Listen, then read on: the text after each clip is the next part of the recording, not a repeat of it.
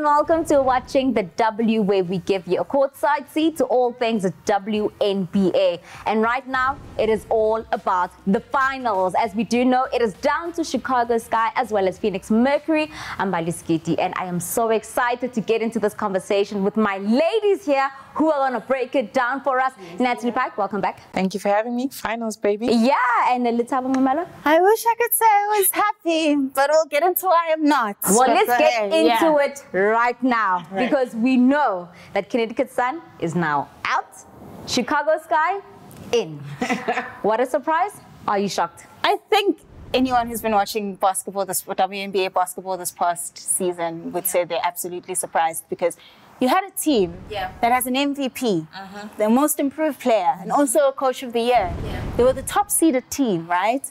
And had like one of the best winning streaks in WNBA history. Yeah. And then it all goes to smoke against Chicago Sky, mm-hmm. who are huffing and puffing and hoveling their way into the playoffs. Yeah. So of course anybody who's been watching would be surprised. And yeah, we can get into the reasons why later, but it, it was incredibly surprising and I think you know, just another story of how basketball is never predictable, even yeah. when it is yeah. predictable. Yeah. yeah. That team that was huffing and puffing mm-hmm. and hobbling mm-hmm. was uh, sixth seeded, seeded six rather, mm-hmm. and. Uh, they managed to knock Connecticut Sun out. What did they do right? Because clearly there was something they did. And clearly they're not huffing and puffing no more. Because this team came out defensively. They were outright aggressive. They literally just discombobulated um, Connecticut Sun's def- I mean offense. Yeah. Mm-hmm. Um, forced them into turnovers. They were well coached the coach had his strategy and made the adjustments at the right time. Yeah. To add to that, they had Courtney Vandersloot shooting the three ball, which is not something we were seeing so often. She's used to just, you know, dishing out the dimes, you know, facilitating yeah. the offense. But now she's aggressive. She's going to the hoop. She's shooting the three ball. Those adjustments Connecticut Sun was not prepared for. Mm-hmm. And now, you know, they were looking at a whole different team, a whole different dynamic, and it was beautiful to watch. So we look at now the team that we know what they were able to do, right? Regular season. Connecticut Sun. They finished as top seed. We know because you've spoken at length about them here. You love them also. You've spoken at length about, mm-hmm. you know, their players. Mm-hmm. But what went wrong? Because we're expecting that same kind of energy to be translated to the playoffs? Mm. I think, as a person that has watched the Connecticut Sun for a very long time, I know this team intimately. And I think part of the problem is is that they rely too much on Alyssa Thomas. It's yeah. almost as if it's the default setting to look to Alyssa Thomas. Yeah. Now, in the regular season, they didn't have her because she was out on injury. Mm-hmm. So they had to be resourceful. Everybody had to chip in, and hence why the team was awarded so much, right? Because they're like, oh my gosh, she did it without Alyssa Thomas. Mm. And then Alyssa Thomas comes back into the fold, and it's almost everyone is like, oh, she's here.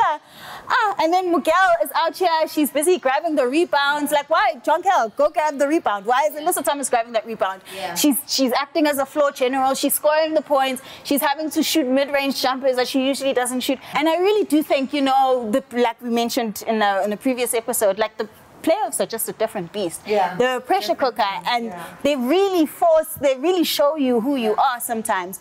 And I think now that Jonquel Jones has played the moment, she can come when they run it back again next year. You know, they're now no longer playing against a moment, they're playing the actual game yeah. and the opponent in front yeah. of them. And they've not met a lot of, of, adversity. They've been on a run and, you know, now you've got to face the challenge and I, I, think they weren't ready for it. Yeah, but I'll tell you one player that was ready. Mm-hmm. Candace Parker, right? she went back home. Chicago Sky, they're in the finals now. Yes. Let's just talk about the impact she's had on this team this season. She was the missing piece. Yeah. All things said and done. Yep. She was the missing piece. This team was well put together, but Candace Parker just hit the nail on the head. Yeah. The fact that she's a point forward, she can bring the ball down the floor. You don't know whether she's going to go all the way and who's going to guard her. Your, your forward, your guard, because she can put it on the floor. Yeah. She's going to the hoop. She's pulling up. She's such a unicorn. And just that impact that she has on the game, I think you have to really sit and strategize. How do we guard Candace Parker? Because yeah. that's how good she is. And she's having like a renaissance season because Amazing. she looked like nothing like this in the last she's couple of years. She's turned back the, the hands Sparks, of time yeah. completely. And she was, like I said, the missing piece. Sure. Now, on the opposite end of the spectrum, right? Phoenix Mercury knocking out oh, last season's Finally, some good finalists, right? news. Jeez. And this they did without a Diana Taurasi who was at 100%.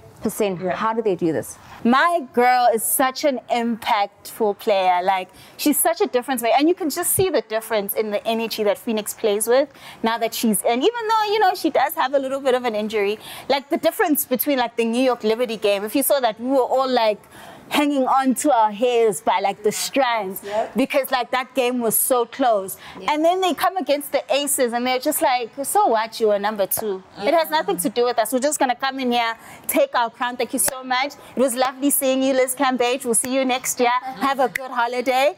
Um, and that's because you know she brings that energy and then she allows Yeah. a Brittney Griner to also go off and the Skylar Diggins Smith to also have their mo- her moment. So in that regard, I think it really is the Diana Taurasi show, but in a good way this time, not like Connecticut. And she's Yeah. got that clutch gene. Yep. She knows how to show up and show off. Yeah. Okay, so Phoenix Mercury has managed to silence Las Vegas Aces. Yeah. But now they're coming against another beast. Do they have enough gas in their tank to, sil- to silence Chicago Sky? I'm going to go right off the back and say Chicago Sky has the momentum here. Mm.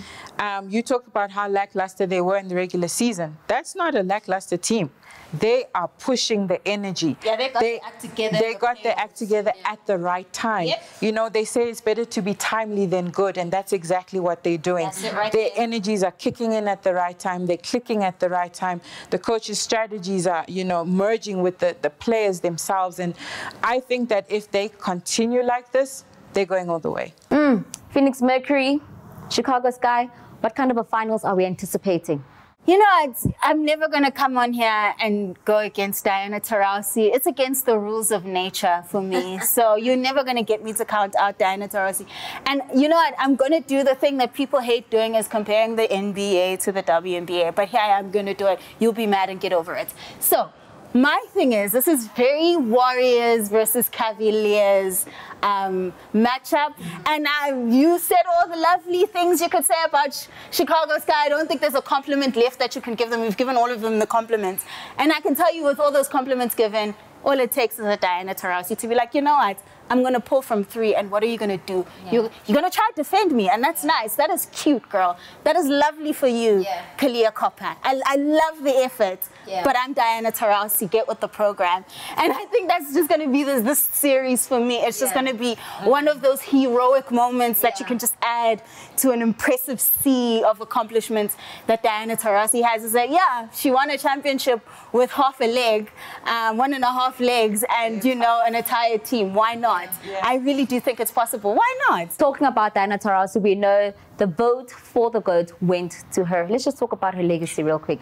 She's had an incredible legacy, and I think the last time we were together, I actually thought that one of the older players would get this title because it seemed like it makes sense. But whew, watching Diana play, literally, I, I, I got goosebumps this last few this last few games because she's outright lives for these moments. She's got. Mm. It almost looks like she's born to do this. I'm not even arguing with anyone about the whole GOAT thing anymore. It's just like I've been saying it for gazillions of years. LeBron has been saying it. Lots of people have been saying it for gazillions of years. There's no point. The, the resume is impressive. The resume speaks for itself. I don't have to. And if any, at anyone at this point, if anyone wants to fight me, I that's your problem. That's that's between you and your maker. I will leave you to it because the truth is Yeah. All time all time greatest scorer. Like, come Yeah. on. Let's not I'm not even let me not. Yeah. I'm just gonna stop right there. Well, one player who's building her resume quite nicely, Michaela Onyenwere, she walked away with the Rookie of the Year accolade. I think I spoke about how just getting that title, Rookie of the Year, boils down to impact. How much of an impact is she making on her team?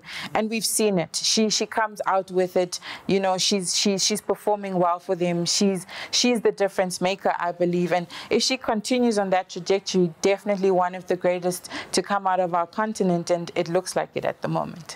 All right, so let's get into our 25 and under, where once again we shine a spotlight on a player who's absolutely killing it on the court. Now, this player has already won the WNBA title as well as the Commissioner's Cup. She also has her roots right here from the African continent. Who am I speaking about? Ezi Magbegor. On this edition of 25 and Under, we feature a young player who's testament to the fact that Africa continues to add great talent to the league. Nigerian Australian centre Eziora Ezi Magbegor. Magbegor was selected 12th overall in the 2019 WNBA draft by the Seattle Storm following 10 years with Australian WNBL teams Canberra Capitals and Melbourne Boomers, where she won Youth Player of the Year and Rookie of the Year accolades. The 6'4 center came off the bench for 22 games in her rookie season in the WNBA and averaged 6.5 points, 2.5 rebounds, and shot 56.9% from the field, while averaging 13.3 minutes on the floor. That same 2020 season, she became a WNBA champion as part of a Seattle team that kept a clean sheet on their way to winning it all in Bradenton, Florida at the IMG Academy. Magbegor was important in helping Seattle win the inaugural Commissioner's Cup. Her defensive contribution was notable as she weighed in with a block and two steals to go with the six points and three rebounds she recorded in the final. The 22-year-old continues to be a notable presence in the paint and will make her second postseason appearance after Seattle finished the regular season 21 and 11 and claimed the fourth seed in the 2021 WNBA playoffs. Ah, just like that, guys this is where we leave our show. Thank you so much, Nat. Looking so nice, channeling Thank Mama Africa today. Thank you for having me. Let's have always a pleasure. Always looking fabulous. Diana Taurasi is the greatest the whole time, not trying to hear nothing else. and that is why she's voted the GOAT. And just like that, thank you so much for joining us on the show once again. Remember to like and share the video, as well as subscribing to the NBA Africa YouTube channel. From me, Giti, and my lovely ladies here. Just bye.